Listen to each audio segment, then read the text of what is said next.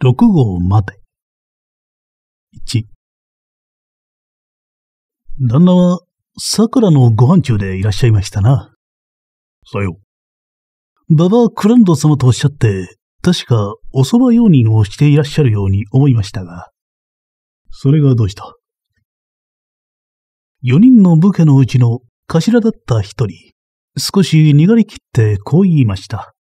道中羽織、塚袋、義経若間、肩のごとくお国侍ですが、傘を手に持って別に人目を忍ぶ様子もありません。年の頃40前後、少し暴用としておりますが、なんとなく品のいい人物。言うまでもなくこれは、角郎、堀田備中の神から三万両の守護を託された桜藩の馬場クランドだったのです。麻布から品川へ入って、本陣、鶴屋一郎左衛門の表、将棋を借りてお茶を飲んでいるのは、これからいよいよ東海道五十三次の旅にかかろうという心持ちの準備を整えているのでしょう。そこへ、いきなり声をかけたのは、一人旅らしい稲瀬男。愛微塵の尻をはしょって、腰には道楽者らしく長いのが一本。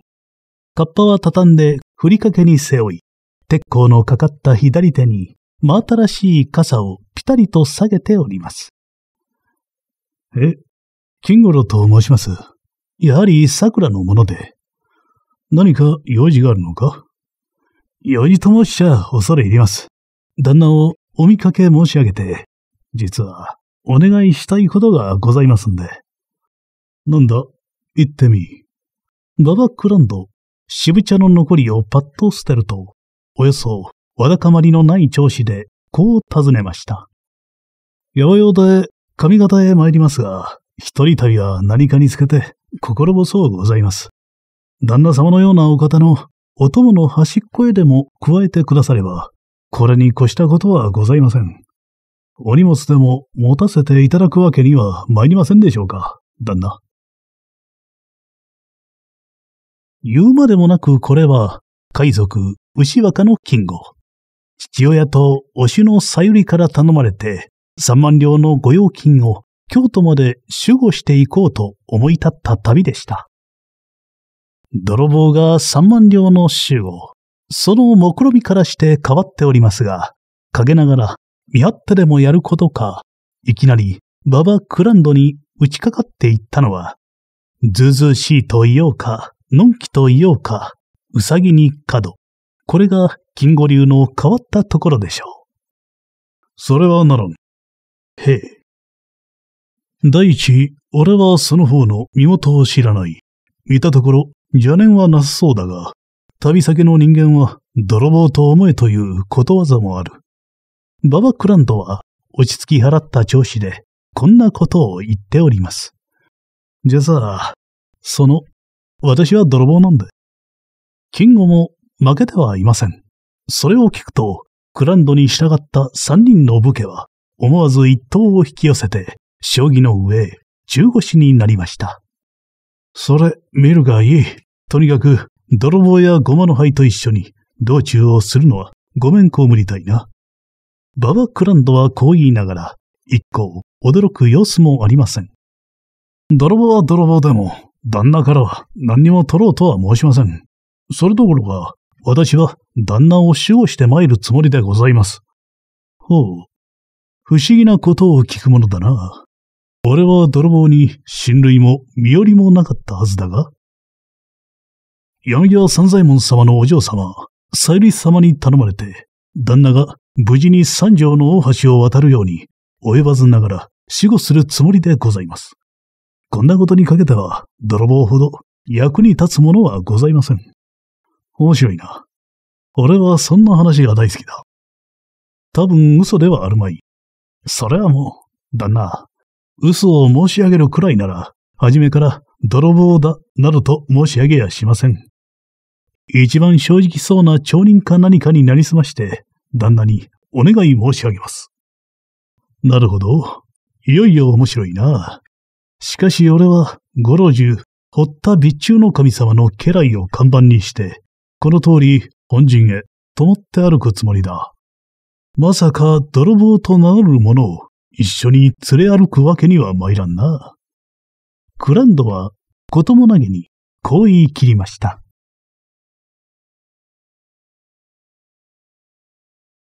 2これこれ、泥棒。え？お知りでございますか？鈴ヶ森へかかると、一行を一足先へやって、ババ・クランドは立ち止まりました。泥棒と呼んでも返事をするところを見ると、その方は思いのほか人間が素直だな。致し方もございません。自分の口から名乗った商売で、牛若の金吾はケロリとして菅笠を傾けました。お前は一体どこまでついてくるつもりだ？先ほども申し上げました通り、三条の大橋までは参るつもりでございます。まだほんの江戸を振り出したばかり、才の目が一と出ると、ちょうどこの辺りになります。呆れたやつだな。道中すごろくと間違ってはいかん。いい鴨を見つけて、その懐中物を狙ってつけるよりは、かえって骨が折れます。取られる方には油断があるとはよく言ったもので。これこれ、誰もお前に守護を頼んだ覚えはないぞ。第一、泥棒などにつけ回されては、俺は構わないが、民族どもが嫌がってかなわん。これっきり、後をつけることを断るぞ。ババックランドも少しきっとなります。32人の人足どもに騒がれては、さすがに安き心もなかったのでしょう。それはいい塩梅で。何がいい塩梅だ？泥棒が後からつけてくると思うと、下郎にも油断がありません。そのつもりで言ってくれると、まず、道中は無事と申すもので。呆れたやつだな。お前はとにかく、後からのこのこついてくることはならんぞ。それでは、お供の列へ加えてくだされば、真っ先に進んで、道中、ごまの灰を嗅ぎ分けてお目にかけます。くどい。それはまかりならんというに。はっきりいたしております。お供に加えてくださらなければ、後からついて参るだけで、ここは東海道でございます。お大名も剣美士も自由自在に通ってよいはずでございます。牛若の金吾はそう言いながらも、クランドの後を慕うように、歩調も緩めません。よしよし、勝手にするがいい。川崎の宿へ入ったら、宿役人に申し付けて縛らせる手もある。なんとかの金五郎と言ったな。その時になって後悔しても追っつかぬぞ。え、牛若の金吾と申します。お見知りおきくださいまし。これでも江戸から街道筋では通った名前で、呆れた奴があるものだ。もう忘れんぞ。ありがとう存じます。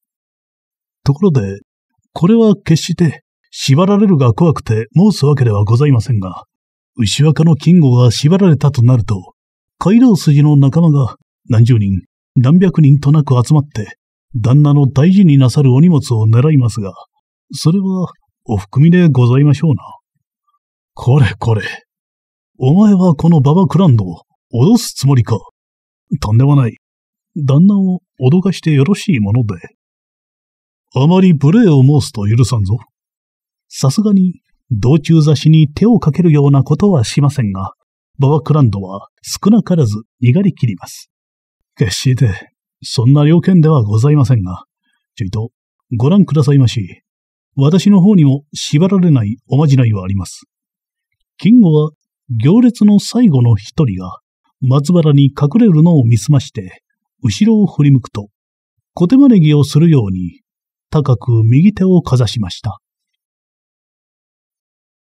それに応じて、往来の旅人の中から、群れを外れたトンボのように、つい出てきたのは、巡礼姿の若い娘。同行二人と書いた、菅笠を傾けて、ババ・クランドの顔をじっと見つめるのでした。朝の光は、その美しい顔を染めて、少し遠めながら紛れる器量ではありません。3。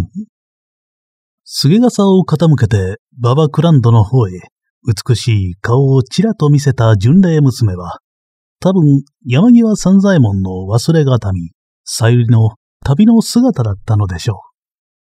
膝へ抱いて成人するのを見てきたというクランドに、それが分からぬはずはありません。よしよし。そんなまじないを心得ているなら、まさか悪事を働くつもりはあるまい。お前の勝手にするがよい。へもっとも、ババ・クランドが、同性に二つの名前のある泥棒を差し加えるわけにはいくまい。後からついてこようと、先へ抜けてかけようと、それはお前の勝手だ。え、え、ありがとう存じます。旦那はさすがによく話がわかります。おだてちゃいけない。ババ・クランドは苦笑しました。この男が自分で泥棒と名乗ったのは、多分本人の言い分通り、人足に油断をさせないためでもあったでしょう。そういえば、恐ろしく物騒なことを言うくせに、この男には何とはなしに憎めないところがあるのでした。憎めないというよりは、人好きのする魅力と言った方がいいかもわかりません。ピチピチした軽症な身のこなし、卒のない物言い、それに色の浅黒い苦み走った男前、など、泥棒というにしては、あまりに整いすぎた人柄です。二人はこんな無駄を言いながら、32人の一行へ追いつくと、これ、金吾とか言ったな？へえ。あまり荷物のそばへ寄るな。クランドはさすがに警戒を緩めません。私はそんなに物騒に見えますか？と、金吾。いや、そうじゃない。たかが泥棒などに恐れをなす俺ではないが、凡人があまりそばへ寄ると汚れが移る。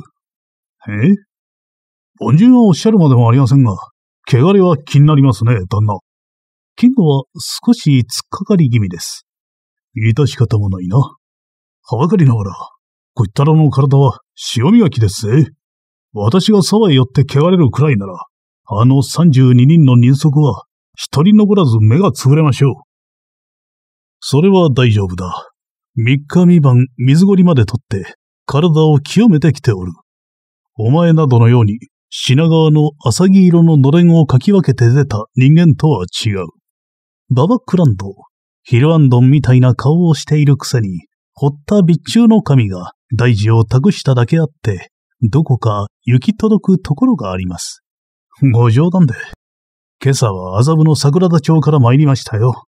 品川なんかじゃよそにもしやしません。そうだろう。俺はそれが白状させたかったよ。おしも屋敷の前で塀の影へ隠れたり、町屋の軒下に潜ったりしていたのが、お前と分かればそれでいい。他の人間があんな様子をして、この行列を見張っているとすると、考え直さなければならないからな。牛若の金吾も二の句が告げません。この薄ぼんやりした中年者の武家が、どこまで目が利くか、全く見当がつかなくなってしまったのです。ところが旦那、しばらく経って金吾は口を開きました。二人はいつの間にやら急ぎ足になって一つ腰二つ追い抜き十六の荷物をことごとく後ろに見て行列の真っ先に立っている時でした。なんだな、泥。泥は驚いたな。まあいいや。ところで、そんな大事にしていらっしゃるお荷物というのは、申すまでもなく、世上の噂の通り、三万両の御用金でございましょうな、旦那。キングは十六の荷物を振り返り気味に、動きの取れない質問をズバリと浴びせかけます。いや、違う。それに対して、ババ・クランドの答えは、予想の通りと言っていいほど、尋常な否定でした。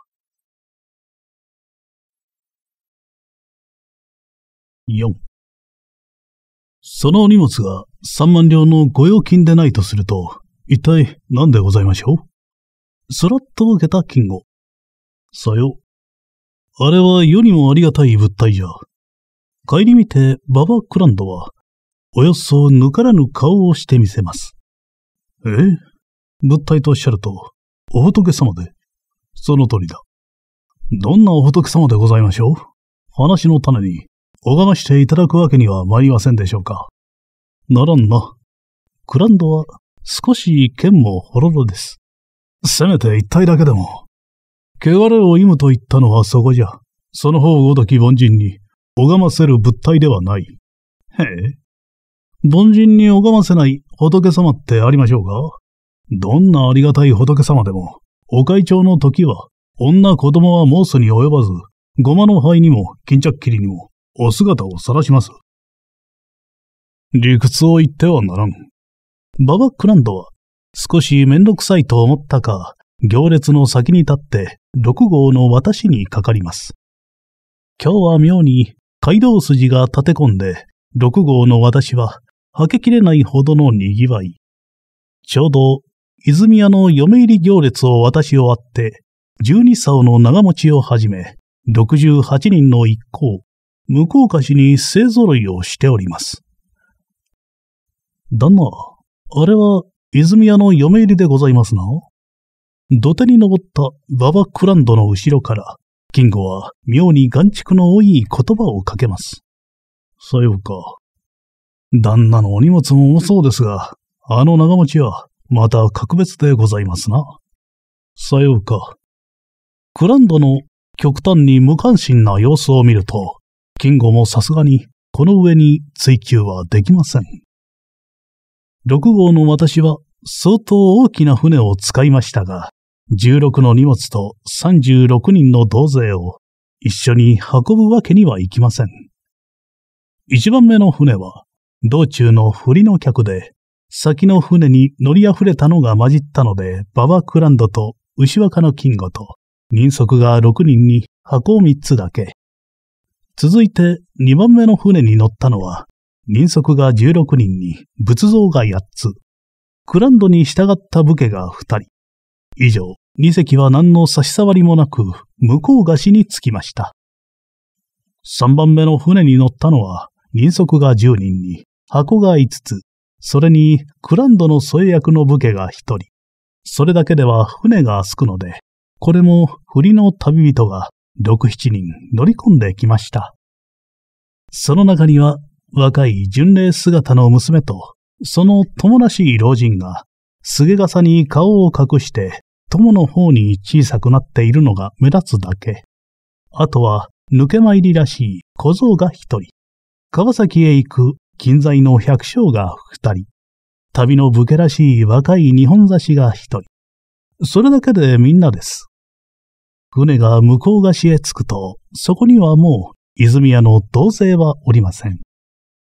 三隻の船を順々に並べて、人間と荷物の運び出しにかかった時、どんな間違いがあったものか、一番最後に積んだ箱を一つ、人足が手を滑らして、あっという間に水の中に取り落としてしまったのです。なんということをするのだ駆けつけたのはババ・クランドの添え役。後で分かったことですが、本庄佐次郎という、これは若い武家です。ええ、なんとも相すみません。つい足場が悪かったもので。二人の人足は本庄佐次郎の剣幕に驚いたものか、大地に這わぬばかりに詫び入ります。くれぐれも申した通り、大事のお荷物だ。水へ落とすとは何としたことを。ええ、どうぞ、ご勘弁なすって。二人の人足は、口の中でもぐもぐ言いながら、濡れた荷物を砂利の上へ引き上げると、一切構わず、その厳重な荷造りをほどき始めました。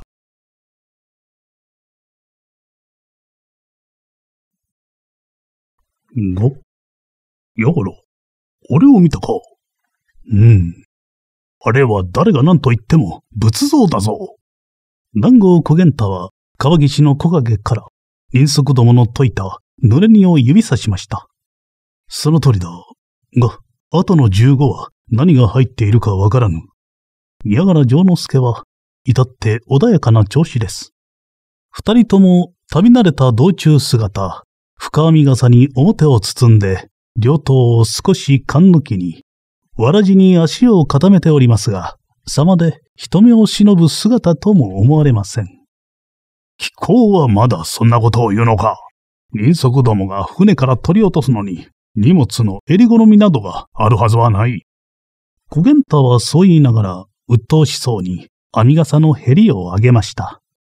凄まじい髭面、あたりを一通り見回すと、自分の意見に賛成を求めるように、背後につつましく差し控える、これも旅姿の娘を振り返りました。それは、言うまでもなく、丈之助の妹誠。少し浅黒い顔を手ぬぐいに包んで、町娘らしい身なりが、ぴたりと身につきます。この頃、武家の女は、関所がやかましかったので、誠は、こんないでたちには慣れきっていたのでした。誠は黙って微笑しました。少し理知的な顔立ちですが、町娘風になると、それが程よく緩和されて何とも言えない、はつらつとした美しさがあります。はずはないというのは気候の了見だろう。万一、あの荷物に目印があったら何とする？やがら丈之助は少し仰向け加減に濡れ荷を見つめております。そんなバカなことが。いや、バカなことではない。相手がババクランドだ。俺は、あの16の荷物の15まで、ほどいて見せられても、後の一つを疑うかもしれぬ。丈之助の言葉は、10回めかしくなります。疑いもいい加減にせい。ババクランドにどんな知恵があったにしても、あの小さい荷物一つへ三万両を封じ込められるか。小玄太は地団打を踏まぬばかりです。いや、ものの例えだ。何の例えかは知らぬが、俺はもうごめんだ。一足先に行った泉屋の嫁入り荷物。あの、十二竿の長持ちの中に何があるか見極めたい。相良、新藤、今宮の三人は手不足で困っているぞ。と、小玄太。それは約束は違う。泉屋の荷物は、相良と新藤と今宮が見張って、俺と妹と貴公は、馬場クランドをつけていくはずではないか。約束は約束だが、俺は物体などを狙うつもりはないぞ。二日前の晩、泉屋へ持ち込んだ八竿の長持ちに、気候ほどのものが何だって目をつけないんだ。いや、馬場クランドが自分のそばから三万両の御用金を手放すとはどうしても思えない。それに、妹の聞き込んだという話も少しうますぎて受け取れないところがあるんだ。いやがら丈之助は、順々として、この請求な同志を解き伏せようとしました。しかし、小玄太は、もうそれを耳にも入れません。とにかく、俺はごめんを被るよ。やがら、また会おう。あ、待て南郷。よう止めるな。それより、誠殿はどうだやはり同志と別れて、兄上のそばにいるか誠は、外面にうなずきました。それもよかろう。さらばだ。待て待て。いや、もう何も言うな。三万両を狙っているものは他にもあるぞ。それだけは覚えておけ。おう。誰がとっても、掘った備中の紙に使わせなければそれでよかろ。そう言って立ち去る南郷小玄太の一本上司な潔白な心持ちを、やがらは微笑ましく眺めやりました。長持ちの中は、1、誰が呼んでいるぞ。相良軍之進は立ち止まりました。川崎の宿を離れた泉屋の嫁入り行列の後を追って、進路を進む今宮八郎と三人、ちょうど神奈川へ一息というあたりまで差し掛かった時でした。三人とも手軽な旅の姿、手回りのものを武者修行風に背負ったのも、油紙に包んで肩にかけたものもあります。何号ではないか？目の良い進路を進むが、松並木の間へ小手をかざすと、小玄太にしては、白昼の往来を、あの騒ぎは軽率だな。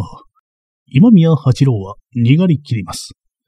しかし、八郎がどんなに気をもんだところで、扇を忘れた熊谷二郎直実のように、おーい、待たないか、相良。と、往来の人の目をそば立てて、一陣の突風のごとくかけてくる南郷小源太をどうすることもできません。南郷、静かにせえ。どうしたというのだ。相良軍の心にたしなめられながら、ようやく一向に追いついた南郷小源太は、やがらの工場には呆れたよ。俺はもう、あの男と一緒に歩くのはごめんだ。息席切りながら、こんなことを言っております。それは困るではないか。この三人は、泉屋の嫁入り行列を見張り、気候と矢柄兄弟は、馬場クランドの一行を見張ることに、昨夜のうちから決めてあったではないか。相良軍の神は、なかなか容赦をしません。それは知っているが、あの荷物は確かに物体だよ。小源太は言葉投げです。どうしてわかった？人足が水へ落として荷をほどくと、中からは、からかねの仏様が出た。いくつほどいた？一つだけ。あと十五は。肛門やがらみたいなことを言うが、襟出して落としたのではないぞ。人足が粗相するのに、中身まで考えているものか。それはわからぬ。相良軍の神は、容易に小源太に賛成してくれそうもありませんが、小源太はもう、この上、説明も弁解もするような妥協的な人間ではなかったのです。ところで、三万両は、泉屋の嫁入り荷物の中にあるに決まったようなものだが、嫌がらと言い合った手前、俺は今すぐでも、あの長持ちの中身が見たい。小源太が大変なことを言い出すと、そんなことができるもんか。今宮八郎、耐えかねて口を出しました。これは一番下で何かれと差し控えておりますが、四人のうちでは知恵がたくましそうです。できる。小源太は目を据えました。どうして？見ているがいい。今晩宿へ着くまでに、俺はきっとあの長持ちの一番臭いのを一つ開けさせるぞ。それは無法だ。相良軍の神も、その長い顔を傾けて、一本上司な同士の単純さを哀れむように瞬きました。相手はたかが、町人と人足だ。何十人いたところで恐れることはない。そのために、小入木平太夫というしたたか者が、腕っこきの配下十一人を連れて、陰ながら守っているではないか。と、相良。小ゆるぎ平太夫が手を出せば、取りも直さず三万両の御用金は、あの長持ちに忍ばせてあると白状したようなものではないか。とにかく、俺が一人でやる。万一しくじっても、この体一つだけ張ればたくさんだ。気候たちは間違っても手を出すな。俺がやってみた上で、三万両のありかが分かったら、その時はみんな力を合わせてぶつかっていけ。頼んだぞ。お、待て、待て、南郷。呼び止める声を背後に聞いて、南郷の体はつぶてのごとく飛びます。2. 川崎で中敷きを取った泉屋の嫁入り一行が、神奈川の宿へ入ったのは、かれこれ八つ、二時近かったでしょう。これじゃん、藤沢までは難しいな。番頭の五兵、カゴのタレを掲げて、西に回った冷やしを眺めました。さすがが、精一杯だね、番頭さん。旅の初めに無理をすると、あぐる日は腰が切れなくなりますぜ。こいったらは道中に慣れているから大丈夫だが、長持ちを担いだのがたまりませんや。あの長持ちはまた、やけに重いようだが、何が入っているんですかい？遠足は遠慮がありません。話好きらしい後坊がカゴの中の五兵にこんなことを問いかけました。何が入っているものか嫁入り道具に決まっているじゃないか。五兵はひどく不機嫌です。へえ、決まっていると言ったって番頭さん。こいったらの嫁入りと違って大したものでしょう、支度が。とい人、といったところで町人の娘だ。大名や後家じゃあるまいし、金の茶釜も錦の小袖も持ってくるわけじゃない。そんなことを言う暇に、少しでも道を急いでくれ。ええ。番頭の五兵、それ以上は物も言わせません。一行が神奈川の入り口、宣言神社の前に差し掛かった時、一方は、まばらな町屋を隔てて、右手は急峻な山で、中腹に、俗に富士の人穴というのがあり、相当往来の多いところですが、その一足を平芸して、浅間神社の玉垣の下、一番道の狭いところに大地から生えたような巨大な武家が突っ立っているのに気がつきました。深編み傘に道中羽織、わらじの紐を高々と結んだ変動の浪人者といった格好ですが、抜群の大男のくせに精一杯肩肘張っていんのですから、さながら小山が動き出したよ。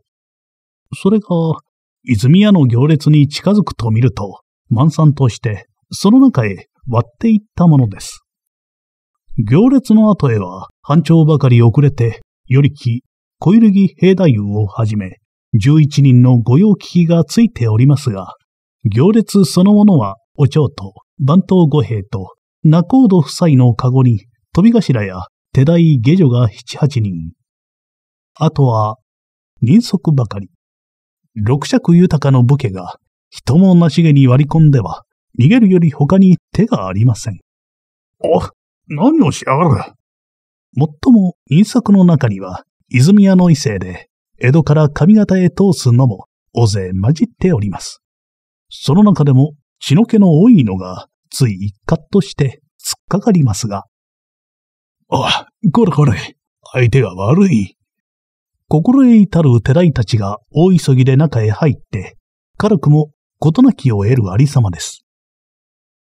酔っ払いの武士は先頭に立った七竿のタンスの中をこぎ抜けると、十二竿の長持ちをめがけてまっしぐらに突進しました。その間も、縦横に千鳥足を踏んで、真四角な肩と二本の鉄腕と、勘の木に刺した刀の小尻をめちゃめちゃに振るのですから、薄気味が悪く、とても寄りつけません。十二竿の重そうな長持ちが、右に左によろけながら逃げ惑いましたが、中ほどの一番重そうなのが、先の長持ちに道を塞がれて、まごまごするところへ、真正面から大男の侍が、加減も遠慮もなく、どかりと体をぶっつけてしまったものです。あ二人の人足は、長持ちを担いだまま、もろに倒れましたが、起き上がると、何をふざけやがる、三品。息杖を振りかぶって、左右からさっと打ってかかりました。ぶ、無礼者大男の侍は、二つ三つ身をかわすと、邪魔になる編み笠の紐をほどいて、ポンと後ろへ放りました。坂行きを狭く取った大田房、目の大きい、鼻の高い、虎髭を左右に食い反らせた、真四角な顔は言うまでもなく、南郷小源太の憤怒に燃ゆる姿です。三。やろう、ふざけたことを。最良の役目を受けたまわった飛び頭の源氏、菅笠を威勢よく跳ね飛ばすと、振り分けの荷物を早速のつぶて、さっと南郷小源太に叩きつけました。え、バカめ。小源太はわずかに身をかわして、左の拳で蝶とたちの塚頭を叩きました。かっと大目玉を向くと、虎ひげが風に逆立って、寄りつけそうもない物凄まじさ。なんてほどしやがるんだい。天下の態度を、嫁入り荷物が通るのに、いちいち痩せ浪人に因縁をつけられてたまるものが、素直にどいていないと、三枚におろして焼いて食うぞ。旅装束のままでは少し息が悪いが、負けん気でむせっかえるような現地。日本差しなどは元より何とも思っちゃいません。ど、ドラえもの、武士に突っかかって、なんという雑言だ。一頭のもとに切って捨てろ。それ治れ。ごぼうや人参じゃねえ。素直に切られてたまるものが。これでも食らえ。どうせ、内物技で言ってはかなわないと思ったが、ひょいとしゃがむと、乾ききった往来の土、マグソだらけのやつをもろ手にしゃくって、パッと小源太へ、当座の目つぶしをくれました。び、汚いことをする。さすがに目に入れられるようなことはしません。身をかわすと見せて、そのまま横合いから、つつ、つつつと、つけ入った非凡の早技。喧嘩っ早い源氏も、それを避ける隙もありません。えい、くたばってしまえ。逆に迎えて小源太の腰、打つほどあるのへ、ガバと組みつきました。叶わぬまでも、泉屋からつけられた帰宅の重さ、元より逃げも隠れもする源氏ではなかったのです。灯籠の斧だ。不憫だが、許さぬぞ。腰を一振り。何や、灯籠の化け物め。口は減らないが、技で鍛えた体にはかないません。よろりとするところ、襟髪を掴んで、さっと投げられました。源氏も、体の軽いのを心象にした男。まさか犬転投げにされるような集体は晒しませんが、もんどり打って立つつもりのが、力の入れようが凄まじかったので、思わず道側に尻餅をついて、しばらくは動けそうもありません。切って捨てるやつだが、命だけは助けて使わす。そこに座って見物せい。小源太はさすがに刀も抜きません。そのままずかずかと大地に置いた長持ちのそばへ寄ると、その墨に手をかけてぐいっと押しました。言うまでもなく、それとはなしにカンカンを引いてみたのです。することも言うことも、この上もなく無法ですが、もう戦国の千鳥足などは忘れてしまったらしく、長持ちを睨んで立ちはだかった姿は、大地から生えたような確かさがあります。気が切れないのが番頭の五兵でした。人足を二人、ハエのように消し飛ばして喧嘩地盤の源氏を子供のように扱う武家の強さは、町人の五兵には鬼人のように見えたのです。顔から転がり落ちるように、顎と膝とで歩いて、いや、確かに二本の足で歩いたにはそういないのですが、ちょうど顎と膝を使って歩いているような不思議な格好で、行列の最後へ。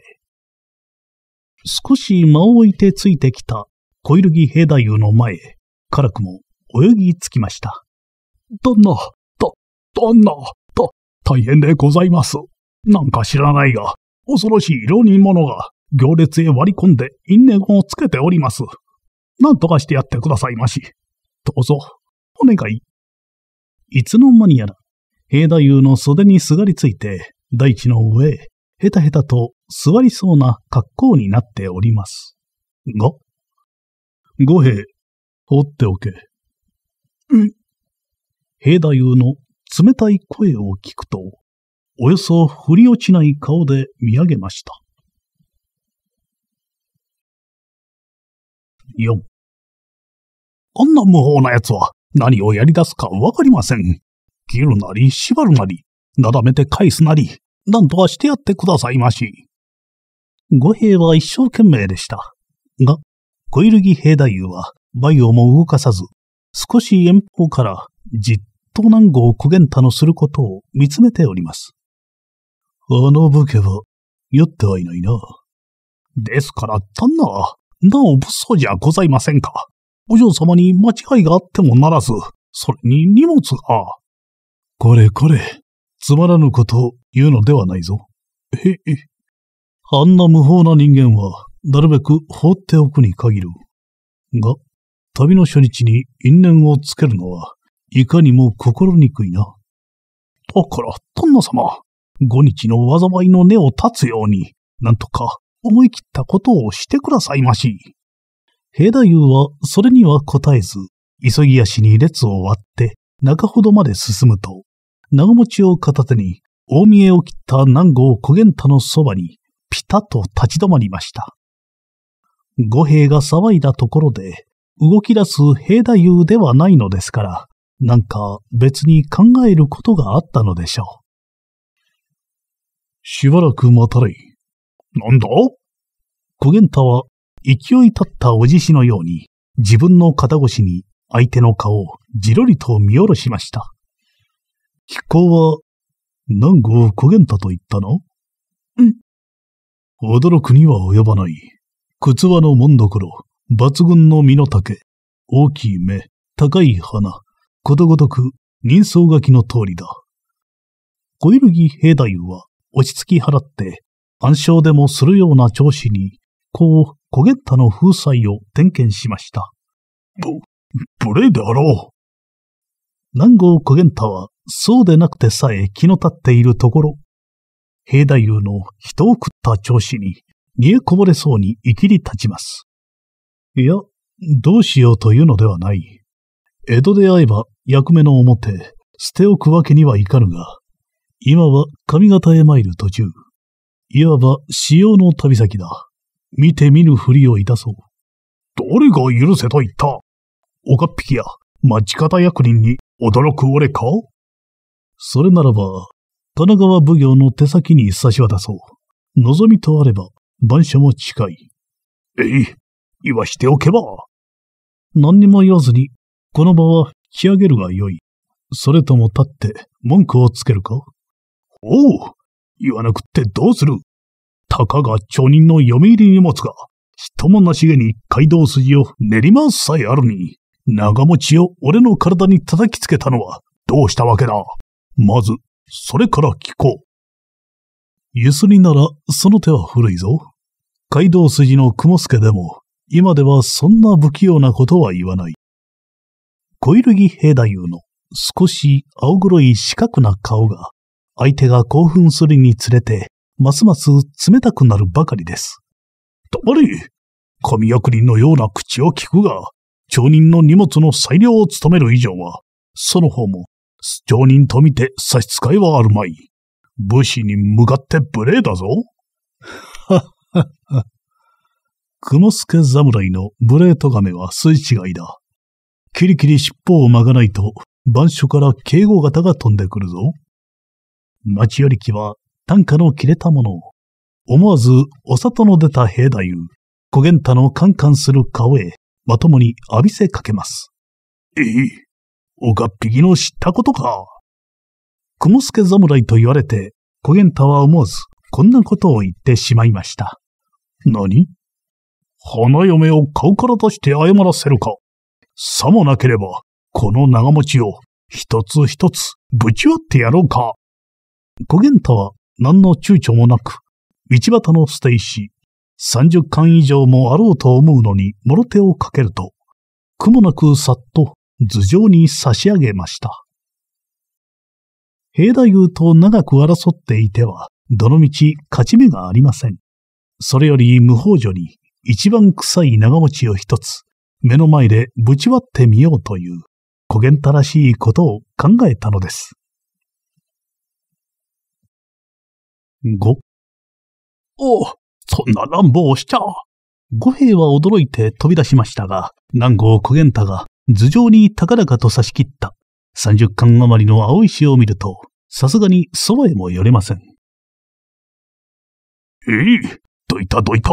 まごまごすると、長持ちごと打ちひしぐぞ。小玄太に警告されるまでもありません。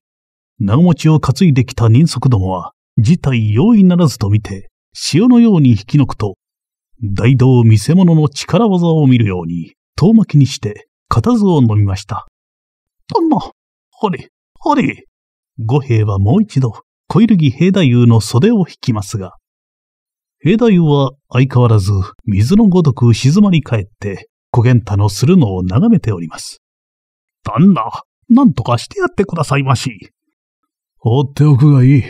命にかけても、あの長持ちを打ち割るつもりだろう。止め立てすると、絶えて五日の煩いだ。でも、旦那。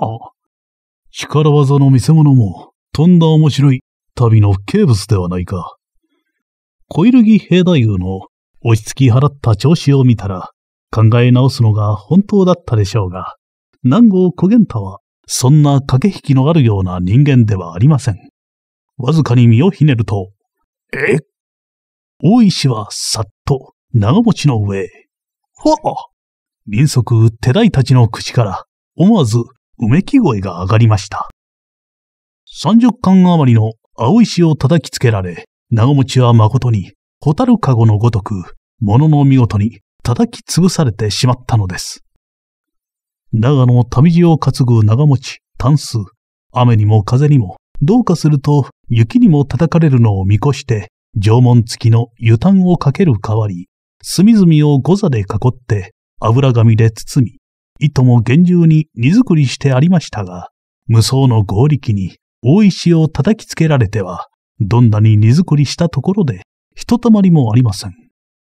縄はちぎれ、タンスは砕けて、中から道の背に飛び散ったのは、四千両の小判、大判。いやいや、そんなものではありません。紅、紫、目もあやなる嫁の寝道具。八端の古海巻きが二つ、巻絵の高枕と、友禅ちりめんの坊主枕が一つずつ。シンクの長襦袢が幾枚、それに手回りの品々、銀地に春の七草を描いた二枚折りの枕屏風まで入っていたではありませんか。驚いたのは南郷小源太でした。あまりのことに一度は飛び抜きましたが、もしやこの中に御用金の箱が紛れていまいものでもないと思い返したのでしょう。見る影もなく砕かれた長持ちへ土足をかけてもう一度さっと気返しましたが、出てきたものはネマに縁のある女物ばかり。誇りっぽい真昼の道の上に世にも不思議な生めかしさを晒すだけです。ここまで冒涜的なシーンを見せられると、江戸から連れてきた人足、分けても泉屋の者が承知しません。やろう、ふざけたことを、畳んでしまえ。赤いものを見せられたお牛のように、気負い立って振りかぶった息杖の林。四方から群がり立って、さっと小源太に殺到しました。何をブレイナー。小源太はもう一度、九段の石を拾って差し上げ、じろりと鉄塔のごとく取り詰めた相手を見回します。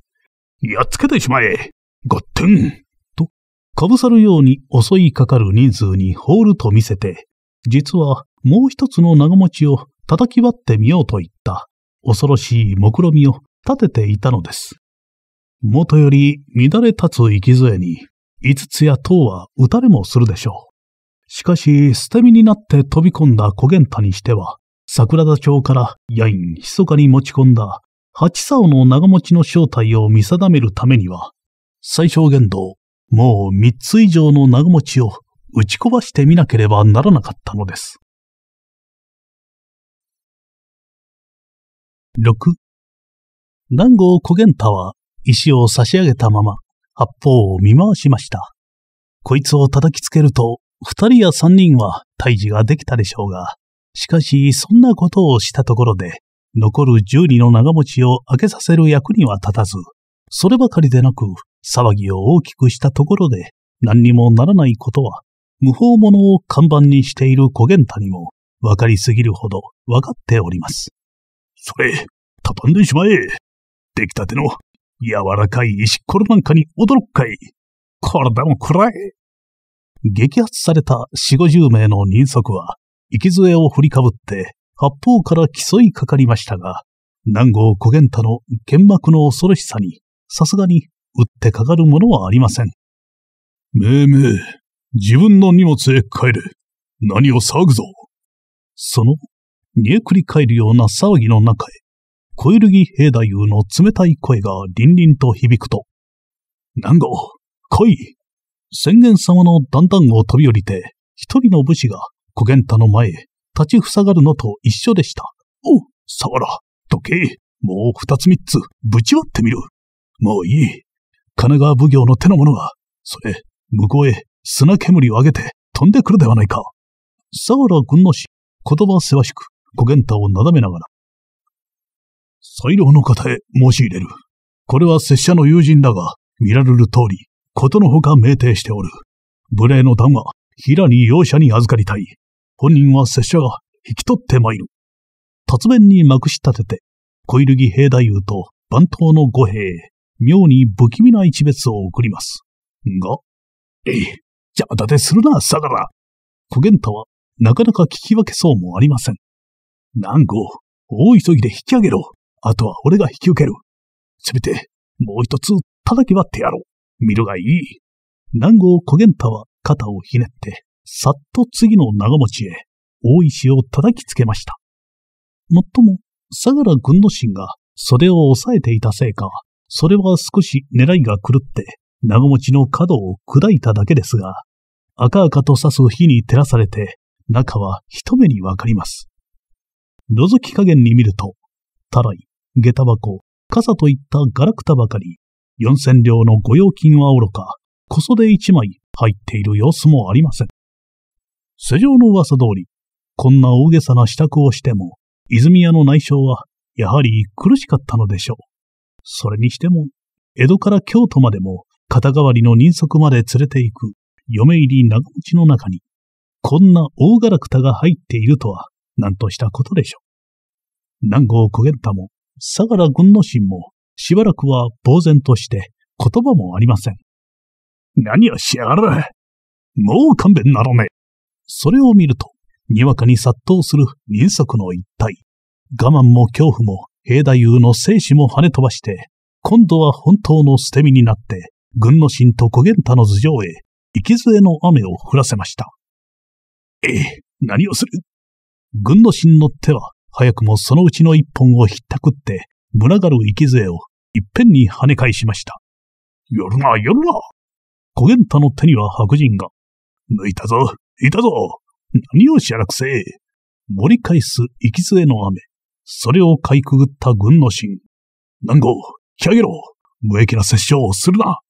小源太の手を取って二三軒飛ぶと、後ろ身に玉垣を越えて、人穴の方へさっとよじ登ります。逃げるな、三品。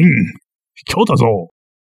相手が後ろを見せると、人足どもは馬鹿に強くなります。きな臭くなって、玉垣の下へ取り詰めるの。待て待て。それよりは、先を急ぐのが大事だ。この上手間取ると、かえって面倒になるぞ。大手を広げて立ちはだかったのは、小入木兵太夫です。7もうよかろう。と、相良軍の神、本街道を外れて、保土ヶ谷の参道に南郷小源太を導き入れました。新道と今宮はどうした？この辺りで落ち合うはずだ。金沢八景道というのは確かにこの先だろう。二人は道端の捨て石へ、苔も払わずに腰を下ろして、一里九丁の長丁場を道を選ばずに駆け通した息を休ませなければならなかったのです。ところで、気候のような無法者はないな。相良軍の神は、改めて、この同志の無鉄砲さ加減に驚いたように、長い顔を一倍長くして、肩越しに振り返りました。俺が？俺が？わ、驚いたな。まだ暴れたなのか。ん？堀田備中の神の下屋敷から出た長持ちは八つで、泉屋の行列のは十二だ。俺が壊したのは二つだから、もう三つ開けてみないうちは、あの中に三万両が隠されているともいないとも、はっきりしたことは言い切れぬて。南郷小源太は柄に似合わず、そろばんがいけます。もっとも、たったこれだけの感情に、不しぐれだった指を念入りに折ったり伸ばしたりしているところを見ると、大した秀才とは受け取れません。だがな、南郷。気候が打ち砕いた長持ちは、前とか後ろとか、行列の端の方だと怪しいが、あれは行列の真ん中で、番頭の籠のつい先に立っていたのだよ。うん。あの二つの長持ちにないとすると、三万両は、あの行列にはないかもしれんな。相良君の神、腕などをこま抜いて、すっかり考え込んでしまいました。嫌なことを言うぞ。馬場クランドの行列になく、泉屋の行列にないとすると、三万両はどこへ消えてしまったんだそれがわからぬから不思議だ。危ない船で持っていくはずはないし、中山道を行くほどの暇もない。とすると、やっぱりあれかな？おいおい、そんな一人飲み込みはよすがいい。それよりは、長持ちをもう二つ三つ打ち割る工夫だ。気候が止め立てをしなければ、俺はきっとやり遂げたんだが。南郷小源太は、そう言いながら、松の古木のような腕をまくります。だから気候は無法者だというのだ。長持ちはいくつ打ち割っても同じことだ。おどうしてそれがわかる？小源太は少しきっとなります。小入木平太夫の顔色でわかったよ。気候が長持ちを二つまで打ち割ったのに、平太夫は驚くような顔をしなかった。うん。一生懸命に止めたのは番頭の五兵だ。気候はそれを怪しいとは思わなかったが、相良軍の心はさすがに知恵が回ります。あの長持ちに三万両がないと決まれば、ついていくだけ無駄ではないか。返して、やがら兄弟と一緒に、馬場クランドの物体の荷をほどかせる工夫をしよう。ボゲンタには躊躇というものがありません。そのまま立ち上がって引き返そうとするの。待て待て、そんな請求にことを決めてはならん。馬場クランドの方は、ヤガラ兄弟が見張っていれば大丈夫だ。我々四人は、もう少し嫁入り行列についていこう。無駄だな、相良。いや、八十何人の同勢が三万両の金を命名の財布に分けて持っていまいものでもない。一人頭いくらくらいになるかな、南郷。俺にそんな感情がわかるか？気候の指は十本しかないはずだったな。八十で三万両は割れまい。バカな。二人は初めて、ほがらかに笑いました。冬木の間をあさる小鳥が、その声に驚いたように、父と泣いてすぎます。